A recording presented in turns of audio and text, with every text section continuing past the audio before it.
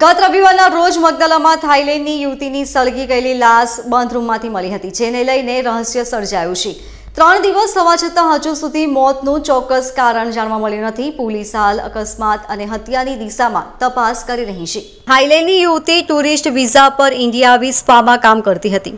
સપ્ટેમ્બરમાં તેના વિઝા પૂરા થતા હોવાનું પોલીસ તપાસમાં સામે આવ્યું છે. જ્યારે યુવતીના રૂમમાંથી એક હુક્કો પણ મળી આવ્યો છે, જેને પગલે હુક્કાને પણ એફએસએલમાં મોકલવામાં આવ્યો છે.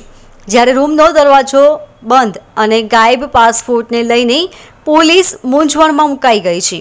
મગદલ્લા ગામની ભૈયા સ્ટ્રીટમાં નગીન પટેલના ભાડાના મકાનમાં રહેતી અને સ્પામાં નોકરી કરતી થાઈલેન્ડની યુવતી વનીડા બુરશોનની રવિવારે સવારે રૂમમાંથી સળગીને ભરતું થયેલી હાલતમાં લાશ મળી આવી હતી.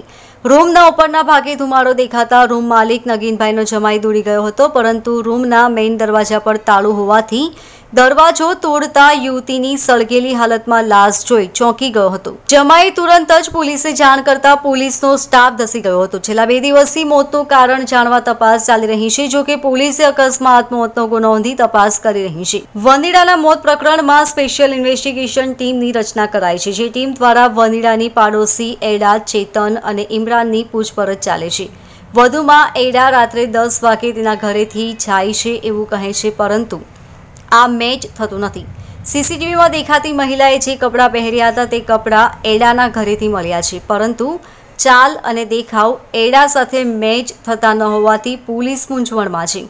હાલમાં મગદલાના વીસથી પચીસ ઘરોના સીસીટીવી ફૂટેજ મેળવી તપાસ શરૂ કરી છે, જેમાં પોલીસને કેટલાક ફૂટેજ હાથ લાગ્યા છે, જેથી એક બે દિવસમાં પોલીસ ભેદ ઉકેલે તેવી સંભાવના છે. Bureau report, LK star news, Surat.